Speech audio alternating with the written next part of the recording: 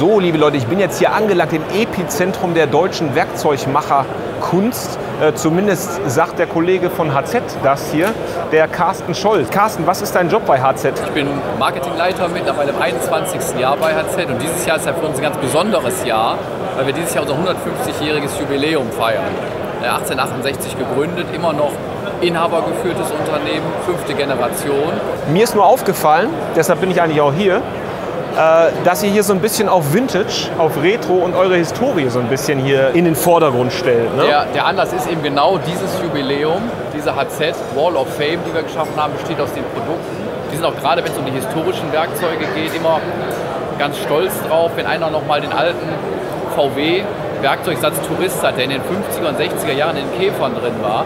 Wir selbst haben nur drei Stück im Unternehmen und nur einen vollständig. Also ich finde, ihr habt ein gutes Branding, weil ihr die Farbe immer schön in den Vordergrund Richtig. stellt. Und äh, wenn du auch, so wie ich, öfter mal in Werkstatt unterwegs bist, äh, du siehst da einen blauen Werkzeugschrank, äh, einen blauen Knarrenkasten, da weißt du sofort, was Phase ist. Aber jetzt sehe ich die Kollegen hier, die sind noch nicht blau. War das damals noch nicht blau eure Farbe oder war das einfach Ausnahme? Äh, wa- wahrscheinlich eher Ausnahme, aber die sind mittlerweile so alt. Ich habe auch noch einen ganz alten Kasten in der Firma, das war 1928, der war dann noch auch ganz in Holz äh, gehalten. Hier das hast kann du- ich jetzt aktuell gar nicht genau, gar nicht genau sagen. Das Blau gibt es schon sehr, sehr lange. Da würde ich sagen bestimmt über 100 Jahre in, in dem Dreh. Auch ich habe die Logoentwicklung mir nochmal angeschaut. Das war sogar mal auch mal rot ganz früher. Das geht gar nicht.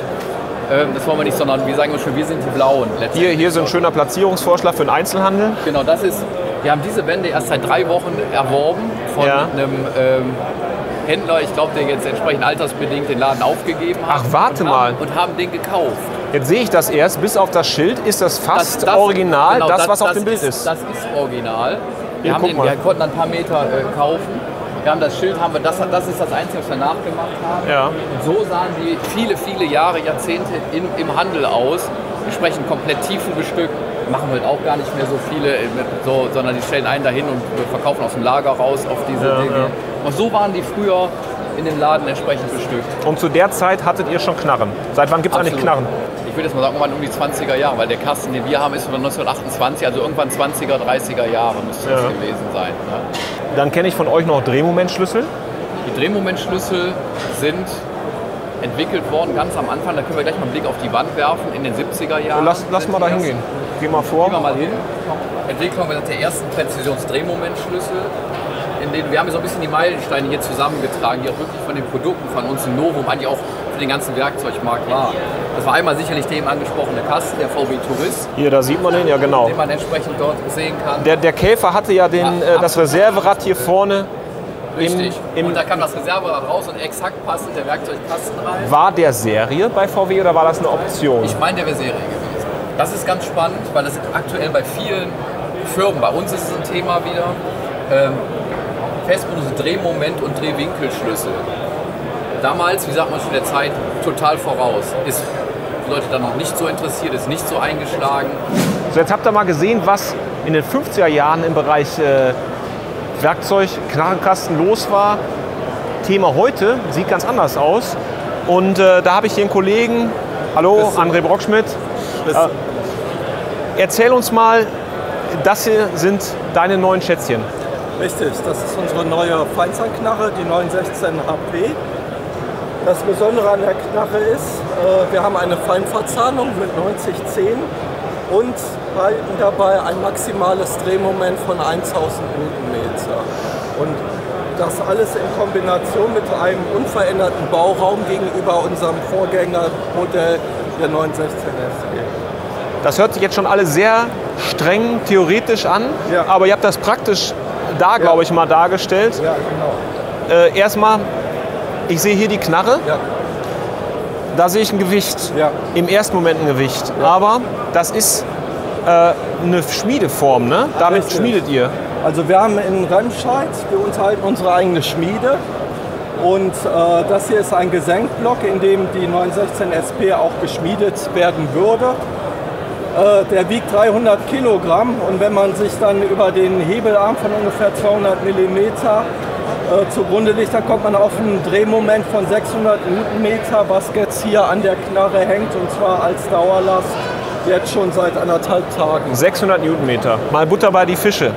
Wenn das jetzt eure alte Knarre wäre oder ich sag mal so ein normales Baumarkt-Tool, Ja. dann würde was passieren? Wird das Knack machen und das Ding wird runterbrechen oder Also ein, eine minderwertige Baumarktknarre würde bei dem Drehmoment mit Sicherheit schon kaputt gehen. Äh, gutes Handwerkzeug kommt in dem Bereich halt an seine Grenzen.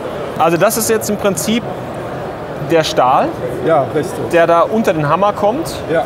Und das ist alles im Prinzip, wie, wie, wie groß darf ich mir das vorstellen, wenn das als Rohling da runterkommt, wie sieht das aus? Wir fangen mit einem Spaltstück an. Also im Grunde wird von einer Stahlplatte werden Teile abgetrennt Und das ist das, was dann unter den Hammer kommt. und das ist das, was dann unter den Hammer kommt. So, und Genau. dann sieht es so aus. Ja, und wie, wenn- viel, wie viel Tonnen wirken da drauf ein? wir können auf mehreren Hämmern fertigen. Also wir können auf 2,5 oder 3,5 Tonnen könnten wir gehen. Wie viele Schläge kommen da drauf? Äh, das sind im Moment zwei, drei, fünf Schläge. Und dann sieht das so aus. Richtig. Und wie kriegst du jetzt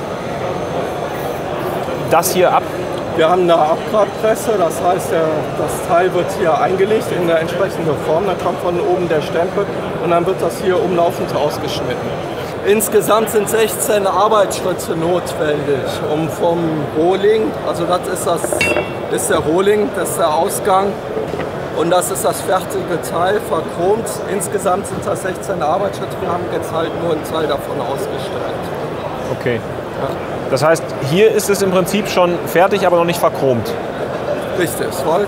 Der ist fertig mechanisch bearbeitet und so sieht er nach der Warmbehandlung aus. Er ist also jetzt schon vergütet. Jetzt bist du der Produktmanager, Entwickler für das Thema Knarren? Oder? Äh, Die Knarrenentwicklung ist eine Teamarbeit. Wir haben in der Konstruktion mit zwei Leuten an der Knarrenentwicklung gearbeitet und ich bin einer davon. Genau. Ich finde es echt abgefahren, wenn ich mir jetzt überlege, du arbeitest mit so einer Knarre, du hast auch Spaß dabei, das ist ja auch schönes Werkzeug, das merkt man, es es fühlt sich einfach gut an, es hört sich gut an. Ja, Die, die Haptik hier, das Umschalten, das, das ist einfach schön. ja. Aber jetzt sagst du mir, ihr seid zwei Leute, die Vollzeit an diesem Thema quasi arbeiten.